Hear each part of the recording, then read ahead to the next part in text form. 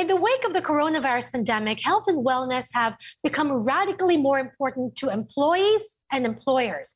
As our next guest said, we need to bring out the best in them to get the best from them. Here to talk about how technology can help track employee well-being, Paulin Pangan, founder and managing director of AF Digital. Paulin, thank you so much and welcome to the show. Good morning, Mimi, and good morning, Kababayan from Melbourne, Australia. Wow. Okay. Thank you for uh, joining us. So let's start with AF Digital. Uh, you guys specialize in social media marketing, customer journey automation, training, and digital marketing operations. Could you walk us through exactly how your service works? I mean, just give us the 60 second version of what exactly you guys do. I know that you guys are a consultant as well for the cloud based software firm Salesforce. That's right, Salesforce.com. Proud, and we're, we're one of the largest partners. So, our mission is to redefine human experiences for businesses using technology. So we help mm-hmm. companies go through their digital transformation, and our team makes the change awesome because transformation is not easy. And we do that with advisory, best practice advisory, and with our technology implementation as well. Mm-hmm. Okay. And now you're adding a new service, which is the wellness survey, which, which is relatively new just during the pandemic. How does the survey work? And I'm very curious, Paulin, what kinds of questions are asked in the survey? And if you can share some interesting findings. Yes, thank you. Um, we're actually not offering this as a service just yet.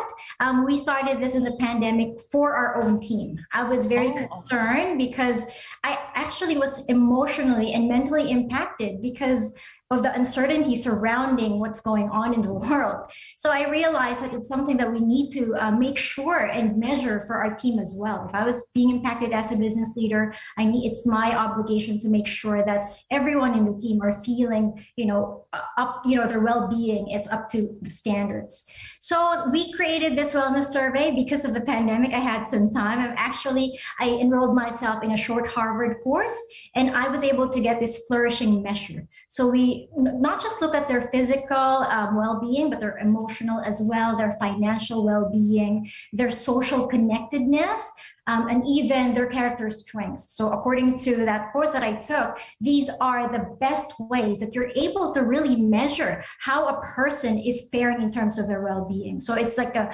big snapshot view and that really measures how a person is how happy they are in, in their lives.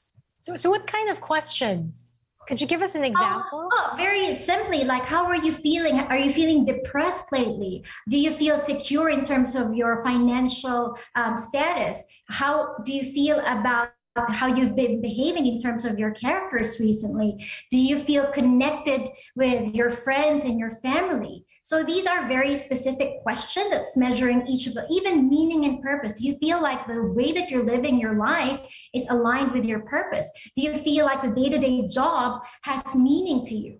So it really like, you know, um, delves in terms of not just like how physically fit you are or yeah. how happy you are, but looking at all of the different facets and dimensions as, as a human being.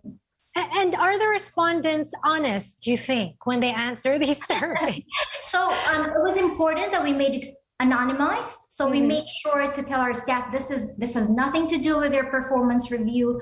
Our intention is to make sure that you guys are well taken care of. I've been very lucky to have amazing business partners that really we, we have a shared values in terms of we really do want to get the best out of our staff by making sure that they're living their best lives and you know that they're happy with their lives. So they I, I, tell them every day, I tell my staff every day, like, guys, like, th- this is, if you are not participating in this, we won't be able to build the right wellness programs. But if you take the time and invest the time to do the survey and answer them honestly, we'll be able to cater to your needs. So, what actions have you taken based on the results of the survey? And, you know, I imagine every action will have a corresponding cost. Yes. As an employer, I'm sure you're also thinking about the cost of implementing health and mental health and wellness programs. Yes, thank you for that question. Because this is our corporate value as a business, this is actually measured as a business metric alongside sales and growth and Oh. productivity. So we make sure that we have carved a budget specifically for this.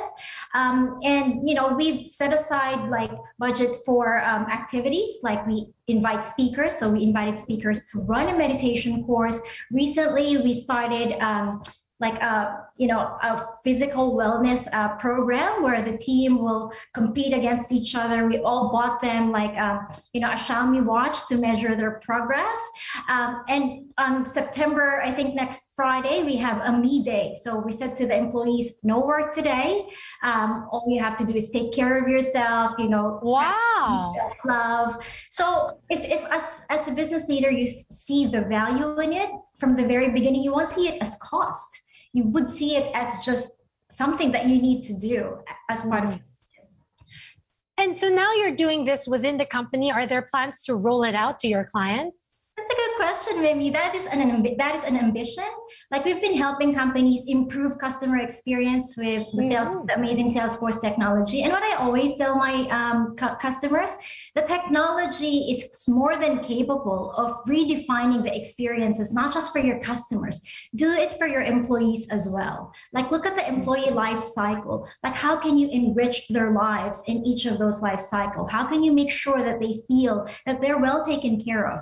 because um, if employees are well taken care of, they will take care of your um, customers as well, and hopefully that has a ripple effect in the community.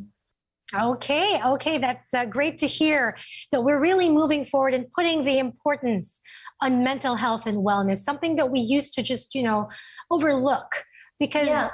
It, it but now during the pandemic, it's really put the spotlight on mental health Yeah. and well-being. Paulin, thank you so much for joining us this morning, and thank you for sharing your inspiring journey uh, of ensuring that your employees are mentally strong. Thank you so much. Have a good day. Have a good day.